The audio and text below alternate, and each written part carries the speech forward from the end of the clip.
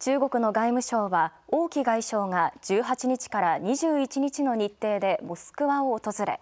ロシア側と戦略安全対話を行うと発表しました。王外相のモスクワ訪問はパトルシェフ安全保障会議書記の招きによるとしていて来月に予定されているプーチン大統領の中国訪問やロシアによるウクライナ侵攻をめぐる情勢などについて協議するとみられます。また18日にはラブロフ外相との会談が予定されているとロシア外務省が先週明らかにしていました。